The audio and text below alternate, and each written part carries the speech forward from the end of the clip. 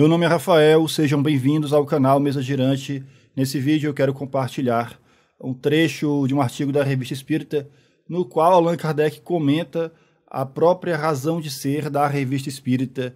Ele comenta isso exatamente aqui no artigo de novembro de 1864, Periodicidade da Revista Espírita, suas relações com outros jornais especiais. Já aqui de início, Allan Kardec, nesse primeiro parágrafo, ele comenta que o povo queria que a revista fosse, digamos, é, tivesse uma periodicidade menor, de 15 15 dias ou toda semana. E aí ele vai dizer que não dá conta. É muito trabalho, enfim, as outras ocupações, ele não tinha como fazer isso. Ele explica essa razão. E aqui no segundo parágrafo, ele vai dizer o seguinte, que é justamente o trecho que eu quero compartilhar com vocês, lembrando sempre que o artigo vai ficar o link para o artigo vai ficar aqui na descrição. Aqui no segundo parágrafo ele diz o seguinte: o segundo motivo está na própria natureza da nossa revista, que é menos um jornal do que o complemento e o desenvolvimento de nossas obras doutrinárias. Vejamos como Allan Kardec se refere à revista espírita aqui como um complemento ou como um espaço para desenvolvimento das suas obras, né, dos livros, no caso. E aí ele diz: a forma periódica nos permite nela introduzir mais variedade do que num livro. A forma periódica nos permite nela introduzir mais variedade do que num livro e registrar as atualidades. Nela vem agrupar-se, conforme as circunstâncias e a oportunidade, os fatos mais interessantes, atenção, as refutações, as instruções dos espíritos Nela se desenham as diferentes fases do progresso da ciência espírita.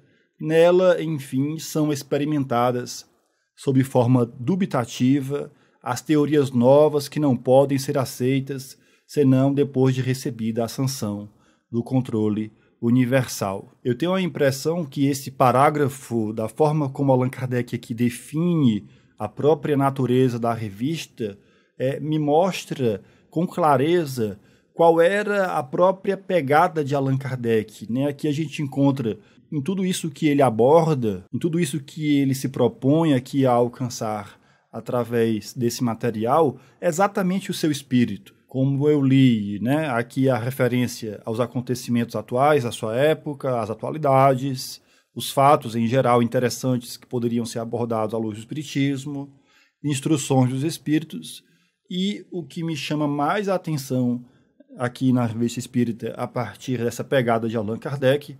Por isso que eu digo aqui, nesse material, ao longo de todas as edições, a gente tem a oportunidade de se aproximar de Allan Kardec, porque a gente, é, de fato, reconhece o seu espírito a partir de toda a abordagem que ele dá aos diversos assuntos, inclusive, como eu li aqui, quero destacar por último, as refutações. A Revista Espírita, então, cumprindo esse papel de servir de veículo para que Allan Kardec ele promova o debate a partir dos diversos pontos de vista relativos à doutrina espírita.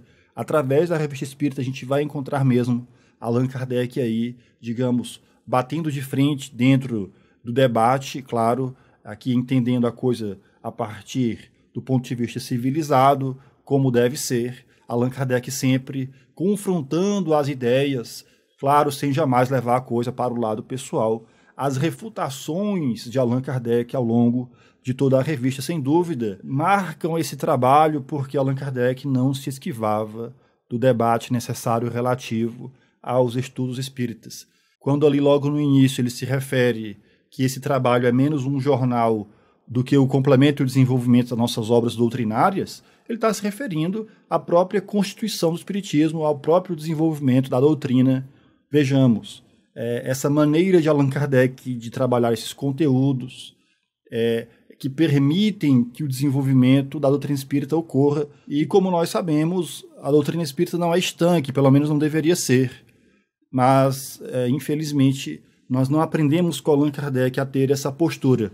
Vejamos aqui no final, né, eu li, quase já não comentava, ele diz assim: nela, enfim, são experimentadas sob forma dubitativa as teorias novas que não podem ser aceitas senão depois de recebida a sanção do controle universal. Aqui nós encontramos, digamos, a iniciativa de Allan Kardec relativa aos ensaios, aos estudos, às experimentações, sempre dando margem aí para os erros, para, enfim, que em cima desses erros os estudos aconteçam e a doutrina espírita se desenvolva a partir de todos os possíveis estudos e a revista espírita cumprir esse papel.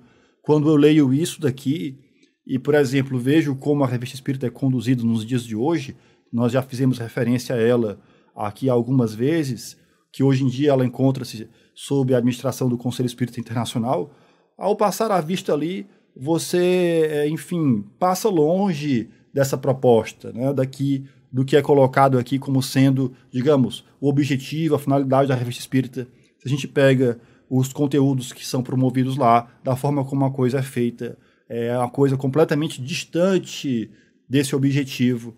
E aí a gente tem que pensar, afinal de contas, a doutrina espírita ela não é uma coisa estanque, ela há de se desenvolver.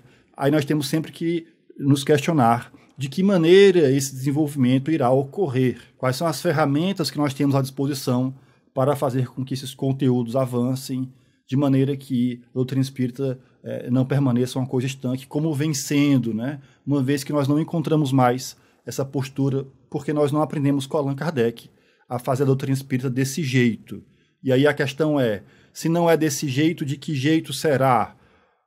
A gente tem que fazer essa pergunta, porque com certeza não é da forma religiosa, dogmática, fechada, pouco arejada como a gente vê hoje em dia. Basta pegar lá a revista espírita conduzida sob o Conselho Espírita Internacional, que a gente encontra exatamente o oposto do que Allan Kardec nos propõe aqui.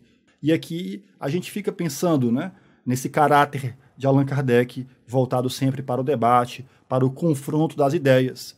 Com certeza, ninguém há de pegar Allan Kardec debatendo o Espiritismo e vai dizer: Poxa, Allan Kardec aqui está faltando com a caridade, o tempo todo discutindo, debatendo, respondendo, refutando. Claro que não. O confronto das ideias não é algo que necessariamente irá comprometer a caridade.